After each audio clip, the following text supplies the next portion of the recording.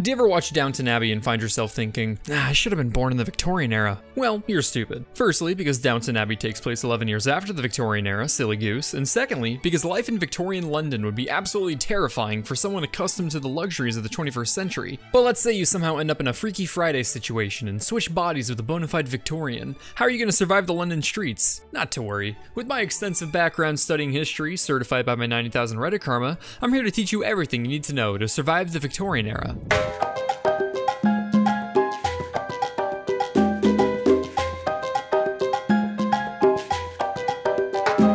Alright, so you just finished your Disney Channel style body swap and have officially transported over a century back in time to Victorian London. Gah! What? What is it, James? My body? What's happening?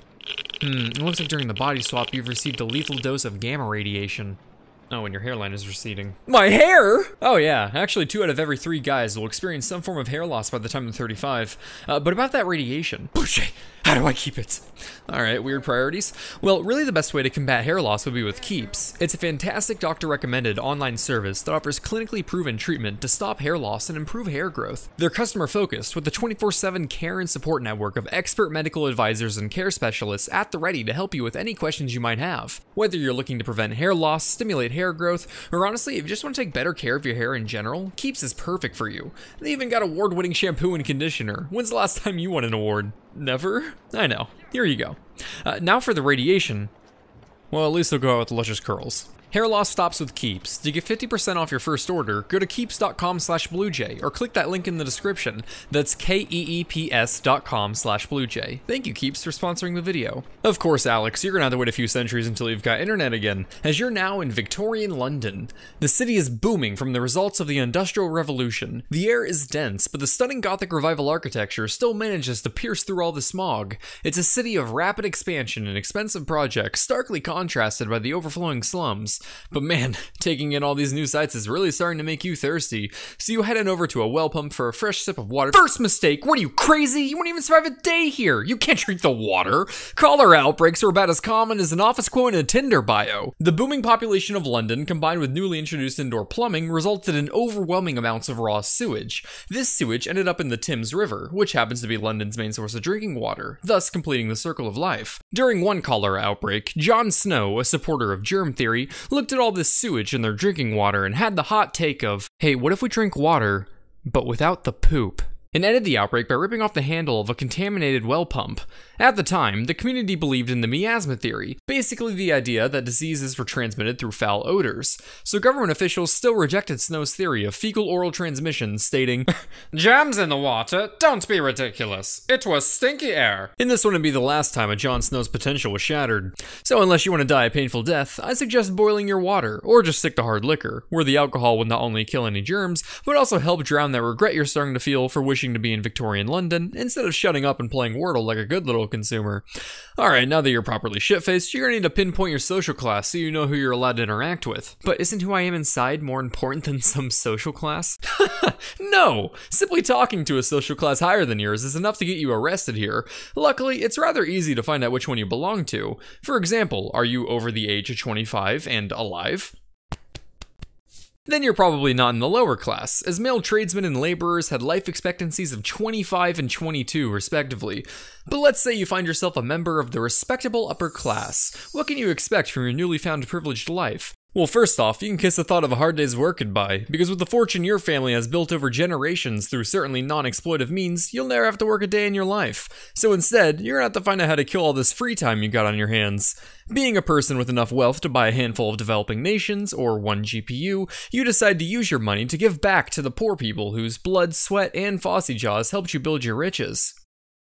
So you buy tickets to next Tuesday's Freak Show. Freak shows were essentially the MCU of the Victorian era, loved by people of all ages and social classes, except for pretentious people who prefer more refined entertainment, like seances. Everyone from your average Joe to Queen Victoria herself loved to goggle and laugh at all the different looking people performing. These freak shows showcase people with physical abnormalities, such as dwarfs, conjoined twins, giants, fat people, thin people, hairy people, ethnic people, and whatever else they thought would pique people's curiosity. Gather round, folks, gather round! For I'm about to unveil the wonders of the world, realities beyond your comprehension, freaks from distant and foreign lands. Meet the man of hair. the precious Piper Pinky. and behold, Paul.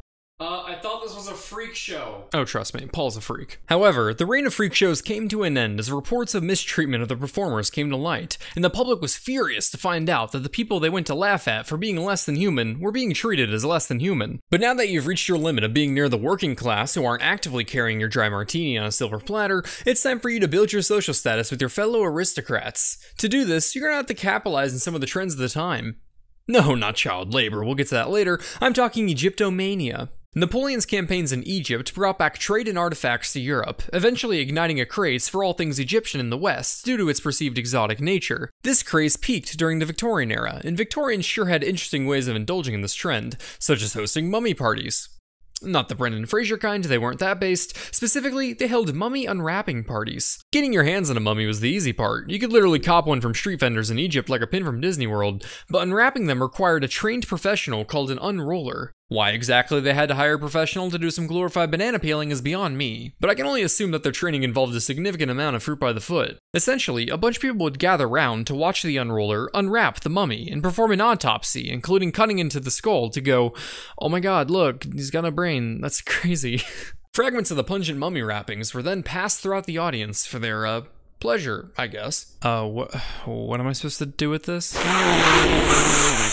While today we recognize hosting an unboxing party for corpses and disgracing a people's history is the most optimal way to speedrun a Twitter hashtag, the Victorians just couldn't help but satisfy their intrigue. And in their defense, they basically came gift wrapped. But if you need any more convincing on how evil this practice was, the most famous unwrapper was a surgeon named Pettigrew. But overall, in the upper class, you won't need to worry all that much about staying alive.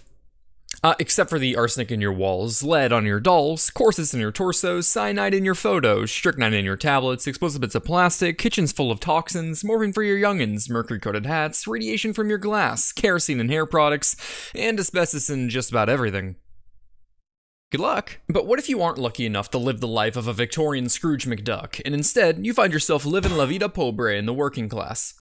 Uh-uh, hold off on the booze there, buddy. As tempting of a coping mechanism alcohol is, we gotta make sure you even survive childhood first. Let's put you in a humble family of seven kids and ah shit, four of your siblings just died. What? Oh yeah, nearly 60% of working class children died before the age of five. Good for you, champ, you won the coin toss. I need to lie down. So long as it's in a minor chimney, because it's time for you to get to work. I'm five years old. And about time you started contributing to the family, you lazy leech. Without child labor laws, working class kids started working as early as four years old. Now pick your poison, chimney sweeping or coal mining. Ah, well, I suppose it's just a 9 to 5. 9 to 5? No, no, no, no. Victorian children were expected to work 12 to 18 hours a day. Gotta beat out that optimism early. Besides, you've only got that small stature for so many years. Companies have to capitalize on your ability to squeeze in the tight spaces while you can. Now, these are still your formative years, so we gotta make sure you choose the child profession that'll cause the least amount of physical and emotional trauma. There were a lot, but let's narrow it down to chimney sweep and coal miner and weigh some pros and cons. As a coal miner, you can expect some permanent eye damage due to eye strain from the dark environment, respiratory problems from coal dust, permanent spine deformation due to stooping, uh, and of course, there was the occasional explosion or cave in. Uh, but on the bright side, you're essentially playing the closest Victorian equivalent to Minecraft. As for chimney sweeps, say goodbye to the skin on your elbows and knees as that's all getting scraped off. You'll experience some irreversible lung damage from all the soot, and there's a high risk of death from falling or getting stuck in the tight chimneys. Uh, but at least you can die happy knowing that when Mary Poppins comes out in 100 years, Dick Van Dyke will forever cement your profession as much cooler than it actually was. So, assuming you survive your childhood profession, it's time for the big boy world. Now, I know the idea of living poor in a Victorian city is probably a terrifying concept, but don't worry. The Victorians actually put in some effort to help the poverty stricken wastes of oxygen. excuse me. Less fortunate folk. For example, if you're homeless, you can escape the cold at a penny sit up, where for the small price of one penny, you get to sit on a bench in a shelter for the night. Whoa, now don't get too crazy. You're not allowed to sleep here. What do you think you are, a human? You only paid for the privilege of sitting, and penny sit ups even had monitors to ensure you didn't fall asleep. If you're looking to catch some Z's, you're gonna have to cough up an extra penny at a two penny hangover. Don't get too excited. Contrary to the name suggests, a two penny hangover is not a charity dive bar where you can drink yourself into an ethanol induced coma. Instead, it was a rope that you literally hung over. Not the most comfortable experience, but at least you'll be the coolest kid on campus with your minimalist hammocking setup. The rope was ideal because it allowed the staff to quickly, uh, dispense with all the poor people in the morning. But hey, maybe it was a good day at the factory and you walked out with four pennies in your pocket, you little aristocrat you. Well, you can afford to be a high roller and head on over to a four penny coffin. Yep. While it may look like you just got shipped back from the Crimean War, a four-penny coffin was quite the step up from a rope, to be fair. You got to spend the night in a nice coffin, you had a tarp to keep warm, and you even got assigned your own little serial number, which is undoubtedly the closest you'll ever get to being acknowledged in your life. Speaking of life, you better get used to this one, as people didn't exactly graduate from social classes. So the only four walls you'll likely ever get to call home will be a coffin at best, or a coffin at worst if you can afford it. But on the bright side, if you manage to survive through the era, you'll get to experience many of the following significant discoveries and advancements. America found its second manifest destiny with the discovery of crude oil in 1859. Charles Darwin published his book on the concept of evolution, meaning that in a few centuries we may evolve past thinking crocs are cool. Darwin's half cousin, Francis Galton, took this research and started modern eugenics uh, which led to problems. Alexander Graham Bell patents the telephone in 1876, a device that changed the world by allowing people to learn about their car's extended warranty. Germ theory would become accepted by the end of the Victorian era, and nobody would doubt doctors ever again. The 19th century saw many innovations in data visualization for statistics,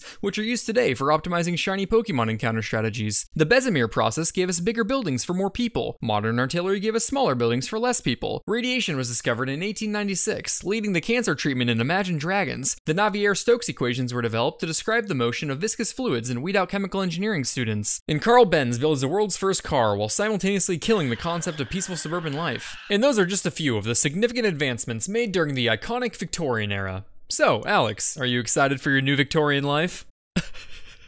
you want to go home and play Elden Ring? Good boy. The Victorian era. Disgusting and deadly, but inspired Bloodborne. 3 out of 10 stars.